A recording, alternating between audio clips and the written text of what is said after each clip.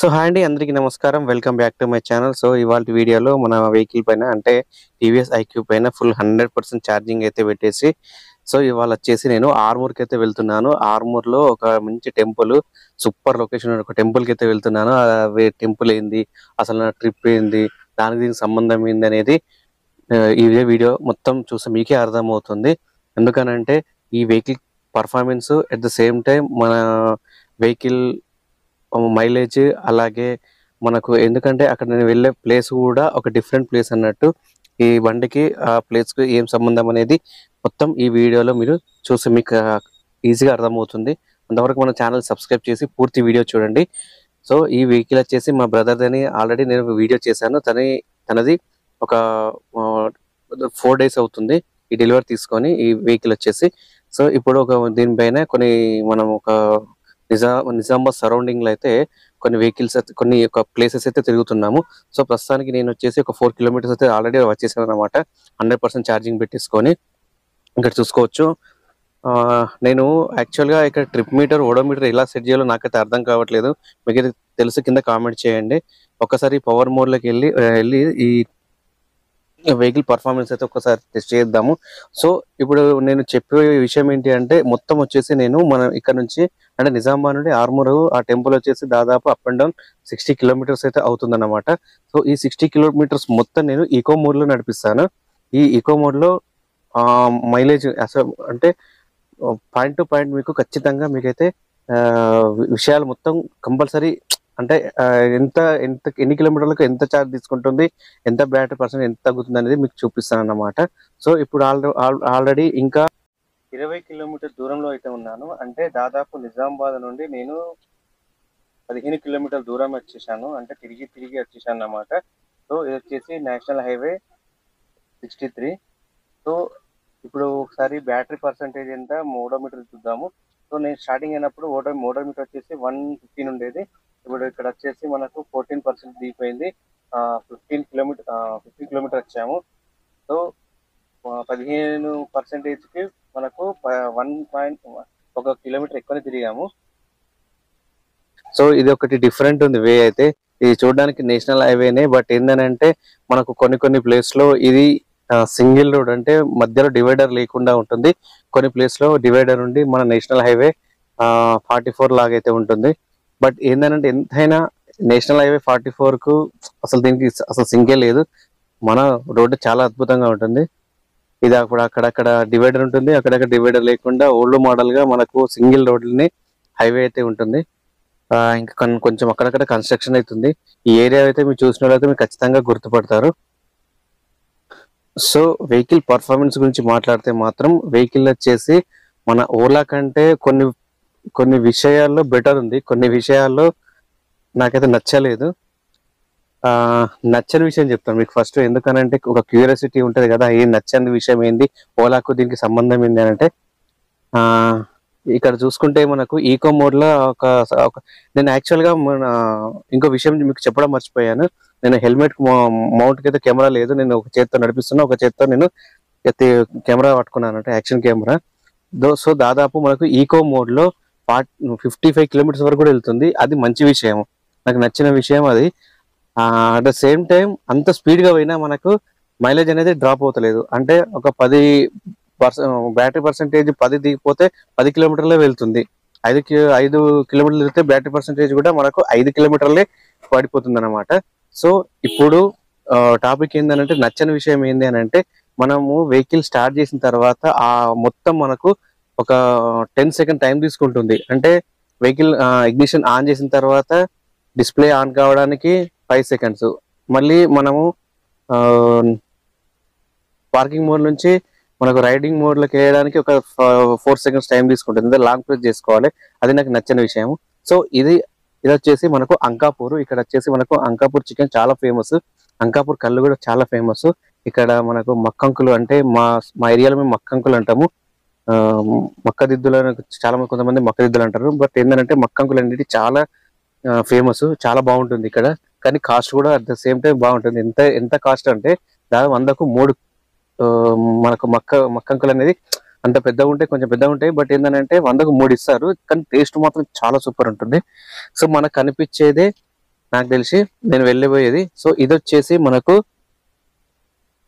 సిద్ధుల గుట్ట సిద్ధుల గుట్ట అంటే మనకు ఆ శివాలయము అలాగే అయ్యప్ప స్వామి దేవాలయము రామాలయము ఇవన్నీ ఉంటాయి.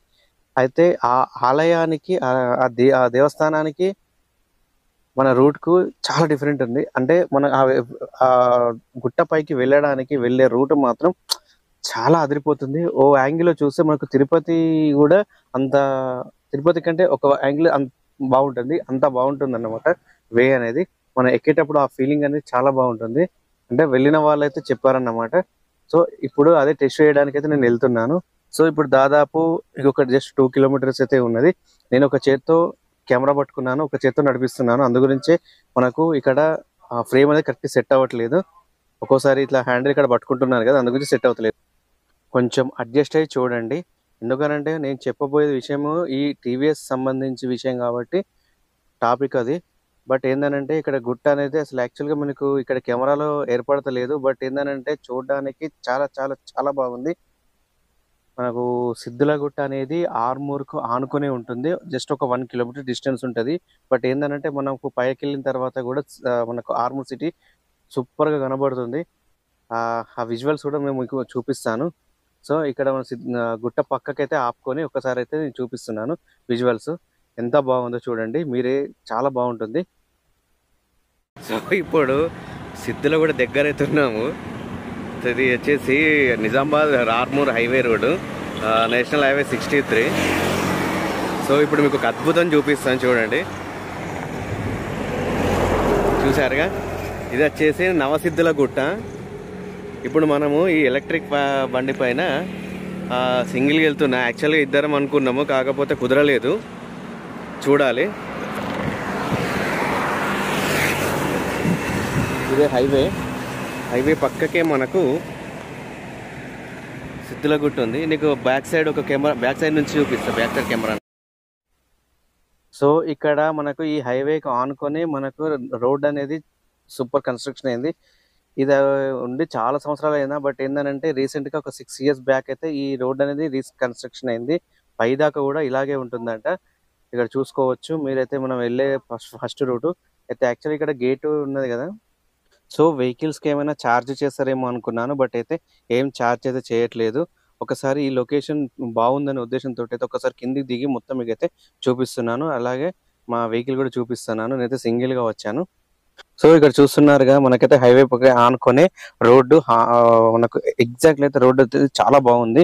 ఇక్కడ లొకేషన్ మాత్రం చాలా బాగుంది. ఒకవేళ నాకైతే డ్రోన్ ఉంటే మాత్రం ఖచ్చితంగా డ్రోన్ విజువల్స్ అయితే చూపించేవాడిని సో ప్రస్తుతానికి నా దగ్గర డ్రోన్ లేదు.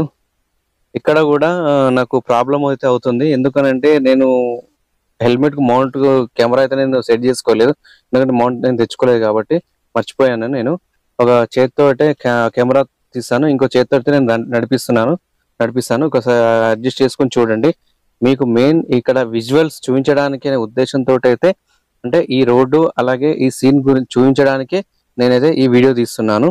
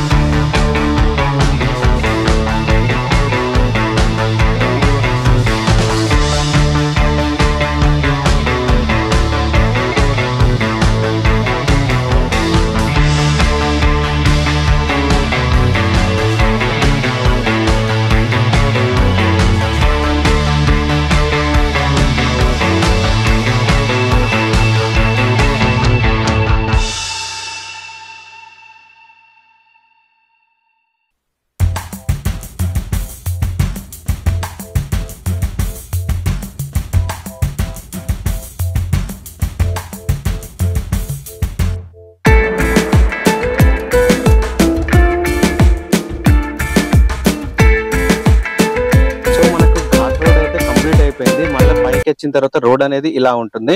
సో ఈ నేను మొత్తం వచ్చిన తర్వాత ఆ టెంపుల్కి సంబంధించి విషయాలు కానీ ఆ లోపల కూడా మనకు ఒక డిఫరెంట్ ఉంటుంది. మొత్తం రాళ్ళ మధ్యలో ఉంటుంది. ఆ గుడి టెంపుల్ అనేది ఒక కట్కం లేదు ఏం లేదు. మొత్తం రాళ్ళ మధ్యలో ఉంటుంది. లోపల కూడా చూడడానికి చాలా బాగుంటుందంట. ఆ దానికి సంబంధించి ప్లస్ ఆ టెంపుల్ సంబంధించి కొంచెం విషయాలు నాకు తెలిసినాయని నేను నెక్స్ట్ వీడియో చెప్తాను. ఈ వీడియో పార్ట్ వన్ అనుకోండి అది పార్ట్ టూ అనుకోండి. సో ఈ వీడియో మీకు నచ్చినట్టయితే లైక్ చేయండి షేర్ చేయండి సబ్స్క్రైబ్ చేయండి. మనకైతే పైన కూడా టూ మచ్ టూ మచ్ మంచి పార్కింగ్ ఏరియా అయితే మంచిగా ఉంది. ఫోర్ వీలర్ కానీ టూ వీలర్ కానీ ఇక్కడ అన్ని వెహికల్స్ అయితే వస్తున్నాయి. మనకు ఒకవేళ ఈ టెంపుల్కి రావాలనుకుంటే ఆర్మూర్ నుంచి కూడా రావచ్చు. ఆర్మూర్కి వచ్చి అక్కడ నుండి అయితే మనకు ఆటోస్ అయితే అవైలబుల్ ఉంటాయి. సో ఇది వచ్చేసి మనకు ఆర్మూర్ కానుకొనే ఉంటుంది. మీకు ఇంతకు చూపించిన ఫస్ట్ పక్క నుంచి మనకు ఆరు ఆర్మూర్ సంబంధించి అంటే సిటీ మొత్తం కనబడుతుంది. అవన్నీ నేను నెక్స్ట్ వీడియోలో చెప్తాను. సో ఇక్కడ మీకు లెఫ్ట్ సైడ్ చూసుకుంటే మనకు లైన్ ఉంటుంది. అంటే ఎప్పుడన్నా ఫెస్టివల్ సంబంధించి కానీ ఎప్పుడన్నా ఆ శివరాత్రి ఆ లేదంటే న్యూ ఇయర్ అలాంటప్పుడు ఇక్కడైతే మొత్తం ఫుల్ పబ్లిక్ ఉంటుంది అక్కడ నుంచి అయితే మనకు లైన్ ఉంటుంది. సో మెయిన్ టెంపుల్ లోపలికి అంటే టెంపుల్ ఏరియా అనేది ఈ విధంగా ఉంటుంది. ఇక్కడ నేను పార్కింగ్ చేస్తున్నాను. సో ఇంకా ఏదైనా డౌట్ ఉంటే కింద కామెంట్ చేయండి. వెహికల్ సంబంధించి కూడా నేను నెక్స్ట్ వీడియోలో చెప్తాను. ఆ, మొత్తం నడిపించిన తర్వాత. సో అంతవరకు ఇంతవరకు thanks thanks thanks for watching. Please subscribe subscribe to my channel